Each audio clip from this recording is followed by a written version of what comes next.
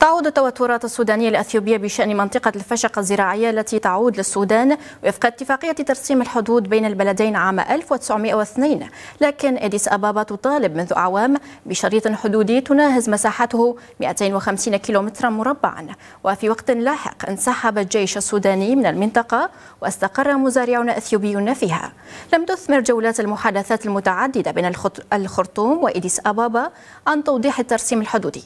ظلت القوات السودانية خارج المنطقة حتى اندلاع النزاع بين الحكومة وسلطات إقليم تيغراي في تشرين الثاني نوفمبر 2020 بحيث فر أكثر من 60 ألف أثيوبي من تيغراي ولجوا إلى ولاية القضارف السودانية. خلال ذلك أرسلت الخرطوم قوات إلى الفشقة لاستعادة أراضيها ومنذ ذلك الحين تضاعفت الاشتباكات الحدودية التي خلفت بعضها ضحايا وأسرى بين الطرفين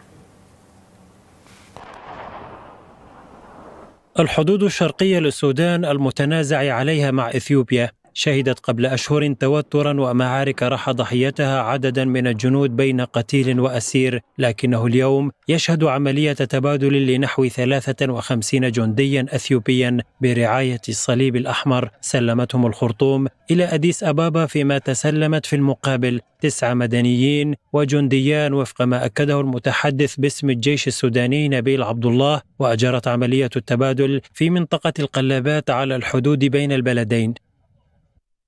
مصادر مطلعة كشفت السبت الماضي عن إجراء مباحثات أمنية مشتركة بين لجان الأمن السودانية والإثيوبية بدعم وإسناد من قيادات في إقليم أمهر الإثيوبي والقنصل الإثيوبي بالقضارف أفضت إلى تفاهمات عسكرية وأمنية لتبادل إطلاق عدد من الرعاة والماشية والأسلحة.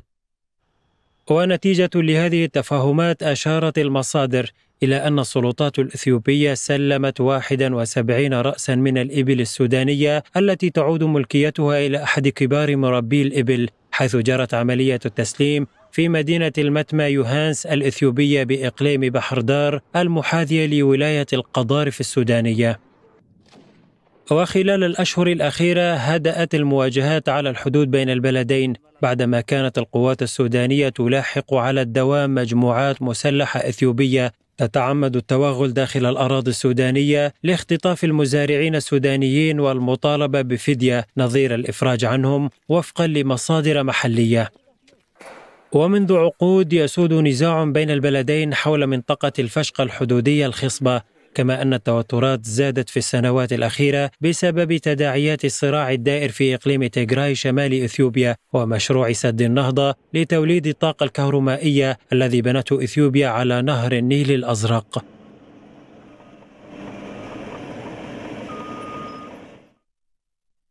من الخرطوم أرحب بالسيد أدم مهدي حسب الكريم إعلامي. وأيضا من القاهرة دكتور محمد اليمني خبير في العلاقات الدولية. أهلا بكم ضيفي إلى هذه الحلقة وعلى شاشة قناة اليوم.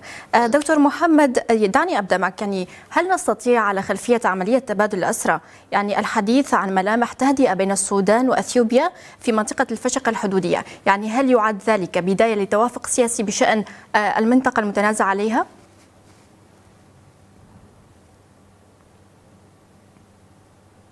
دكتور محمد هل تسمعني؟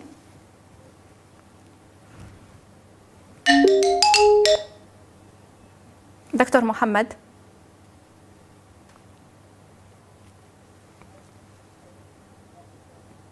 دكتور محمد هل تسمعني؟ أنا أسمع حضرتك يا فندم نعم أه يعني تحدثنا هل نستطيع على خلفية عملية تبادل الأسرى أنه الحديث عن ملامح تهدئة بين السودان وأثيوبيا في منطقة الفشقة الحدودية؟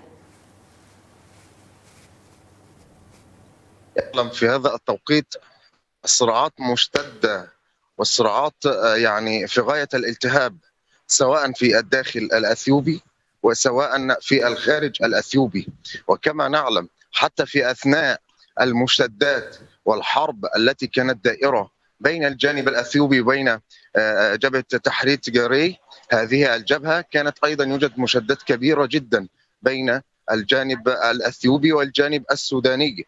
ولكن هل يعني في يوجد مسار جديد ويوجد حلول في هذا التوقيت حتى نخرج من هذا النفق المظلم؟ فأنا أرى لا يوجد حلول جذرية في هذا التوقيت لأسباب كثيرة جدا. إذا نظرنا إلى الوضع الداخلي السوداني فهو متوتر للغاية ويوجد مظاهرات ويوجد أمور كثيرة وهذا أيضا له تأثير يعني وأيضا الجانب الأثيوبي يوجد في الداخل الأثيوبي مشاكل ناهيك عن مشاكل الاقتصادية وما شابه ذلك. ولكن بخصوص الاسرى هذه الاسرى ما هي إلا يعني تبادل اسرى ليس أكثر من ذلك ولكن هذه المشادات قائمة. يعني سمعنا في الآونة الأخيرة تقارير وأخبار كثيرة جدا تخص الجانبين.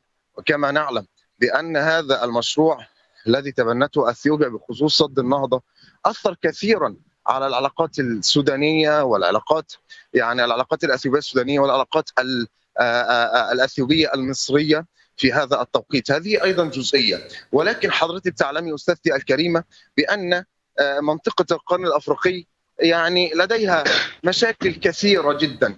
وناهيك عن الانقلابات وناهيك عن المشاكل الاقتصادية وناهيك عن المشاكل السياسية والدبلوماسية لأن هذه البلدان تحكمها يعني سياسات بعيدة تماما عن التفكير يعني بخصوص التنمية أو بخصوص الاستقرار. دائما وأبدا هذه المناطق تشهد يعني صراعات ودائرة مفرغة ونفق مظلم في هذا التوقيت. سيد آدم يعني كما قال الدكتور محمد حالة من عدم الاستقرار الداخلي في كل من السودان وأثيوبيا. هل من ضوابط وإجراءات مرافقة لعملية تبادل الأسرى تمنع أي اقتتال أو تجاوزات في المنطقة الحدودية؟ التحية لك والتحية لضيفك الكريم ولي المشاهدين الأعزاء. حقيقة ما حدث ليلة البارحة من تبادل للأسرى بين السودان والطرف الإثيوبي.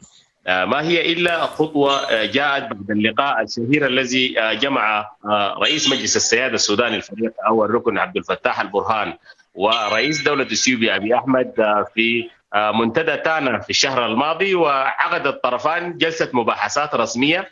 بعدها رشحت معلومات أن الطرفان قد توصلا إلى تفاهمات بتهدئة في حدود بين البلدين وكذلك البدء في لجان مشتركة عسكرية وأمنية بين البلدين لرأب الصدع ول يعني بداية مرحلة جادة في تهدئة الطرفين وعودة الأسرى السودانيين عند الطرف الإثيوبي وعودة كذلك الأسرى الإثيوبيين عند الطرف السوداني.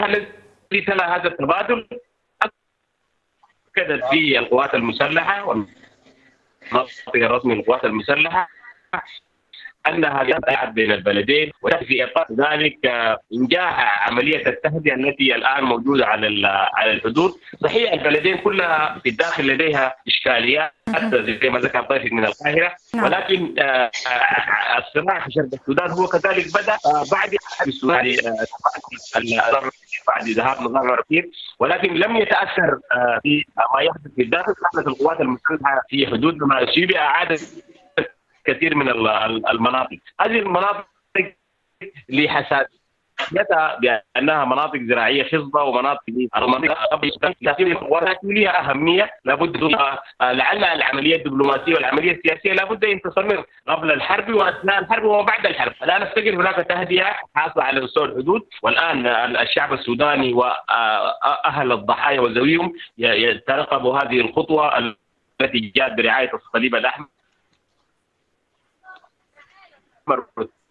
تمت في منطقة الجبهة الحدودية هذه خطوة تعقبها خطوات أخرى في إعادة المقصود بجانب الملكية الإثيوبية كذلك إعادة التوازن في هذه المنطقة بجانب إقامة مشاريع تنموية للقضاء على هذه المناطق حتى يبعد شبه الصراعات من جديد والنزاعات والاختطاف المستمر للأشخاص السودانيين وللماشيه وللاستيلاء على الأراضي الزراعية.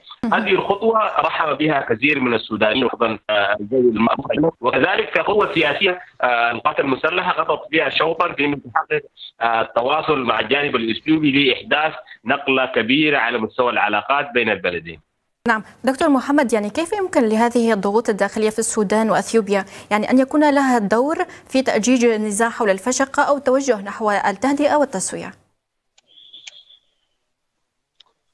أستاذتي الكريمة في هذا التوقيت المشاكل كثيرة وكما قلت حتى لا أعيد الكلام مرة أخرى في سواء الداخل السوداني وسواء حتى في الداخل الأثيوبي لابد الحكومات تعي المشاكل التي بهم أو التي بها في الداخل. وفي هذا التوقيت آه، لابد من حلول جذرية من الدرجة الأولى حتى يتم آه، آه، يعني مواصفات على ردود الحقوق أو أمور دبلوماسية تنهي هذا الصراع لأن حتى إذا تكلمنا وقلنا عن نموذج بخصوص الجانب الأثيوبي هدأت المنطقة أو هدأت الصراعات بين الجانب الأثيوبي وحتى الجانب جبهة التحرير التجاري وقامت من أول وجديد حتى كنت مع حضرتك منذ يعني أقل نعم. من من أسبوعين وتكلمنا بخصوص هذه الصراعات الشديدة وقلنا لابد من حلول. هذه نقطة. أما النقطة أنا أرى ليس يوجد حلول في هذا التوقيت. لماذا لا يوجد حلول أستاذتي الكريمة؟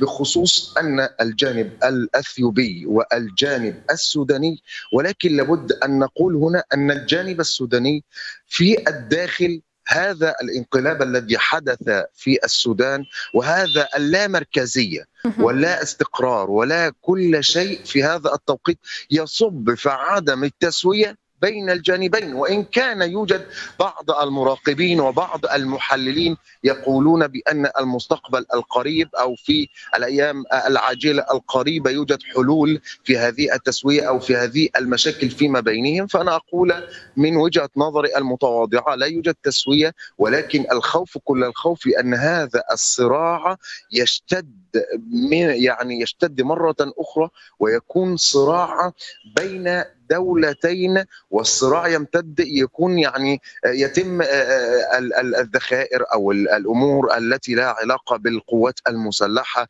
سواء من الجانب السوداني ومن الجانب أيضا الأثيوبي. ولكن المتابع الجيد أستاذتي الكريمة بخصوص هذه المشاكل بخصوص القرن الأفريقي والحيثيات والمعطيات والذي أيضا متابع لبعض السياسات الأفريقية يعلم كل العلم بأن هذه المشاكل يعني يعني مستمدة أو لديها مدد كثيرة جدا في المستقبل القريب. سيد آدم يعني ما مدى ارتباط الاضطرابات في منطقة الفشق قبل الحرب الأثيوبية وملف سد النهضة؟ يعني لم يكن هناك أي اضطرابات في هذه المنطقة سابقا. حقيقه الارتباطات إذا تحدثنا عن ما يحدث في شرق البلاد أو الحدود بين اثيوبيا والسودان. هي مسألة قديمة في أراضي سودانية متواجد فيها الإخوة الأثيوبيين وبعد ذلك نشطت فيها جماعات مسلحة أثيوبية ميليشيات غير منظمة أثيوبية. نشطت في تلك المناطق وتقوم بعملية استصلاح الزراعة الزراعي لهذه المناطق وتقوم بنشاط مريب في هذه المنطقة وتعمل حتى في تهريب تهريب البشر تدخلهم للسودان حتى يمتد الهجرة إلى إلى أوروبا. ارتباطات هذه المسألة بقضايا سد النهضة هي ليست ارتباطات كبيرة ولكنها في سياق التوترات اللي حدثت في موضوع سد النهضة. قد يقول البعض بأنها لديها ارتباطات مباشرة ولكن في الأصل هذه أراضي سودانية وهذه ال ال ال الاعتداءات تمت من قبل ميليشيات إثيوبية وبعد ذلك تدخلت فيها بعض الأطراف. والجيش السوداني قام بحسم هذه المسألة تماما وإعادة الكثير من الأراضي السودانية والسيطرة عليها وإعادة حتى ممتلكات السودانيين التي